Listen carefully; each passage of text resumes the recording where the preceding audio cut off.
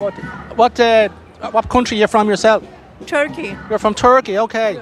So you have uh, um, what's the what's the prime minister of Turkey called again? Is uh, Erdogan. Erdogan? I really don't like him. Okay. I don't care you're, you're entitled. And Yeah. his opinion is, Yeah. He's not as bad as this government here. I don't know your government. Our government is worse. I know about him. Yeah, yeah, yeah. Thanks for this.